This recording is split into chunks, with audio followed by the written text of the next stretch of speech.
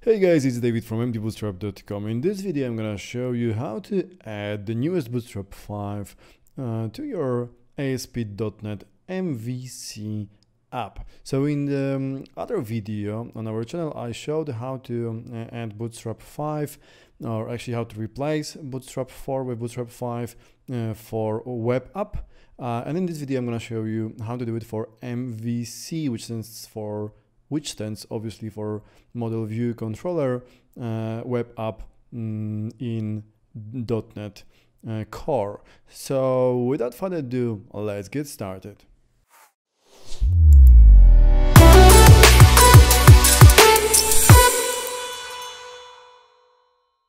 So in order to start our journey with uh, .NET, obviously we have to download mm, it first. As you might know, .NET is multi-platform, mm, so you can download it for uh, either Windows, Linux, Mac OS, um, or there is also Docker instance available. I'm gonna use Windows as for today, so please download mm, the newest version. As for today, this is the .NET 5.0. Uh, while you will be watching this video in the future, there might be a newer version, so please please download the newest version at the moment you are watching this video and please download the SDK. I already did it. Um, you can check the installation process on the previous video. Uh, there is nothing um, difficult obviously over there. Hit, simply hit download. It should start automatically. Uh, if not, click um, hit this download button and simply uh, click on the installer that will gonna get you through the installation process. Now, once you install SDK, it's time to open a command line and uh, navigate to the mm, location of your choice. So I'll go to my .NET folder and now we're gonna generate a new .NET MVC project. So I'm gonna type .NET um, oh, by the way, if you type .NET, you should see something like this similar info, that means that your .NET has been successfully installed. So this is how you verify that your .NET is installed correctly. Uh, and now let's generate some new application. So I'm gonna type .NET uh, new MVC uh, minus O and MVC movie. Now in the previous uh, video I showed you how to generate a project uh, without CSS certificates. Um, so we could skip them um, uh, for the sake of this tutorial. Um, you can see how to do it in the previous mm, uh, previous previous video. Uh, but this time I'm gonna show you the other way how to work with this. Uh, what is it about? I mean, basically when you create this app, it's gonna uh, generate the certificate. However, the certificate is obviously auto-generated by us, so it's not gonna be accepted by uh, other users. So uh, I'm gonna show you how to accept um, this certificate so you could use it locally. So I will just stop here. I'm gonna fix my typo.net and I'm gonna hit enter, which gonna create a new application for me. So this was this has been um, this has been created. So now let's navigate to our uh, MVC project. And now let's open this in Visual Studio Code. So this is our project. Here we have our controllers, models, and everything which we need for the MVC app. Um, we also have our views over here and few more configuration files. Now let's start, uh, let's try to run this app. So dot .NET run it's gonna build our application so we're gonna see new files over here. Let's wait for it a couple of seconds. And we are getting some error let's see. Unable to configure https endpoint no server certificate was specified. And this is exactly what i was talking about. So now in order to uh, solve this issue this is because um, this server from the application isn't um, trusted on our computer we're gonna type following command .NET dev dash certs https minus minus or dash dash trust. This is gonna open. Okay, again, let me fix this typo .NET Now this is gonna show me this command prompt. And as you can read here trusting the https development certificate was requested. A confirmation prompt will be displayed if the certification was not previously trusted. Click yes on the prompt to trust the certificate. So i'm gonna trust this certificate and now if I'm gonna try to run this command again. I'm gonna get the information that the valid HTTPS certificate is already present because we just added this to our certificate um, store on our computer. So now let's try our try to run our application. It's gonna build it again. It's gonna start it. So let's do it here. And now let's open this in web browser. So this is our starting application. So this is how it looks like.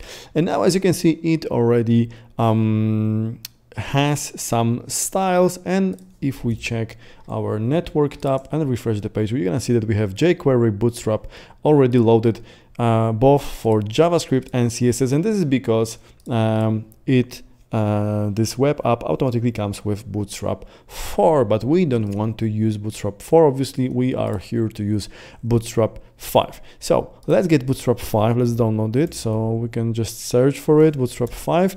Um, and you can get there uh, to from get bootstrap or you can download this from our mdbootstrap.com page. So if you go to mdbootstrap.com slash uh, bootstrap-5 you're gonna find a newest and direct link to the bootstrap 5 i'm gonna download it. I'm gonna quickly unzip it. Uh, give me a second to do so. So uh, this is c so this is my download folder. I'm gonna extract it. And now we have bootstrap here. And let's navigate to the project folder over here. So it's working .NET MVC movie. And now what we have here what we are looking for is www root.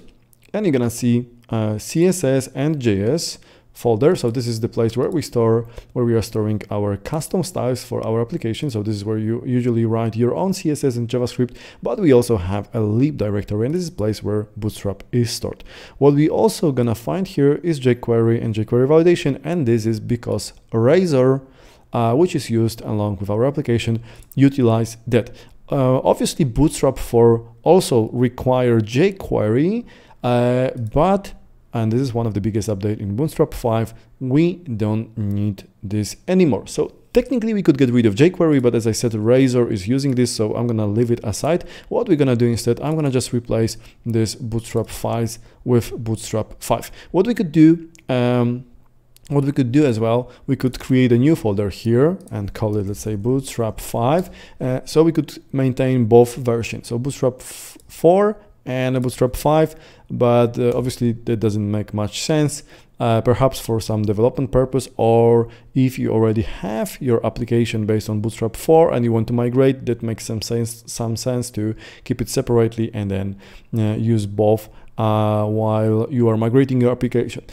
Uh, since we are starting new application, we're just gonna start with, we're just gonna replace it totally. So I'm gonna go to CSS. So these are the Bootstrap CSS files, and I'm gonna just replace them with Bootstrap 5. So I'm removing old Bootstrap 4 files, and I'm just copying Bootstrap 5 over here. And then again, obviously, usually it doesn't make sense to load all of the um, assets over here as you are using uh, mostly minified version but in case you are doing development maybe perhaps you're doing some RTL um, or you want to customize it uh, somehow you might need one of these files or you don't want to load entire bootstrap you want to load just for example a grid or utilities. So this makes sense for the sake of this tutorial, I'm gonna copy all of the files, but keep in, please keep in mind, this is a good practice to get rid of uh, remaining files, unused files, and don't keep unnecessary files within your project. The same goes for JavaScript. I'm gonna get rid of Bootstrap 4 JavaScript. I'm gonna copy Bootstrap 5,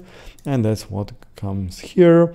And now um, let's restart. Or actually, before we start, let's have a look at our shared view as we're gonna see this uh, where we are loading Bootstrap. So we are loading Bootstrap in this views layout um, CSS, CS HTML XP file, and here we have our CSS and the jQuery and the Bootstrap files.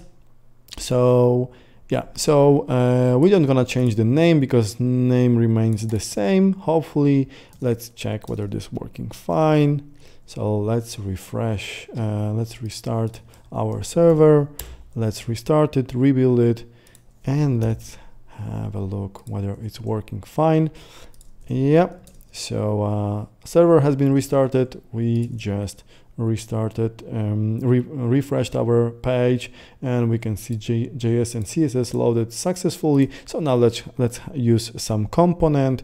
So I'm gonna use modals. So let's go for modal. Where is it? Modal over here.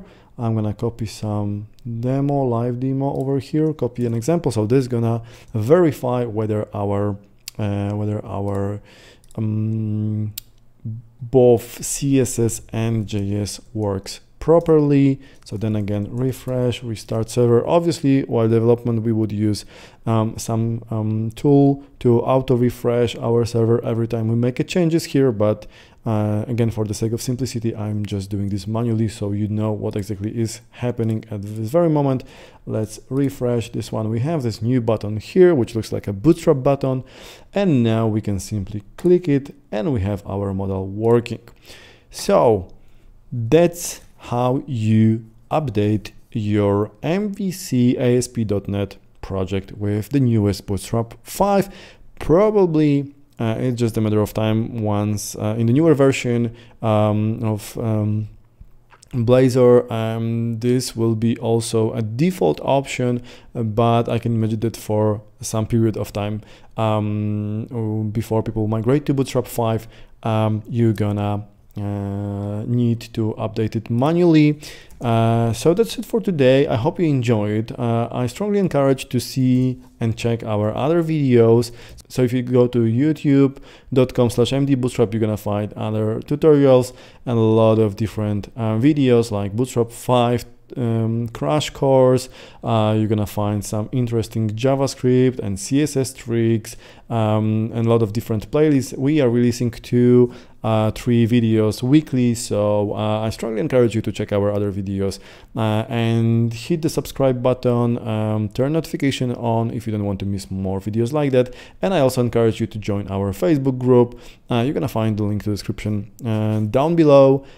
So thank you guys for watching. I hope you enjoyed. If you did, please don't forget to leave a like. Please don't forget to leave a comment. If something wasn't clear, please leave, let me know in the comments down below this video. And uh, if something doesn't work, if something, if you need any help, please do not hesitate to post it uh, as a comment or join our Facebook group where you can ask anything related to web development and our web development team will be happy to help you with that. Thank you for watching and see you in the next video.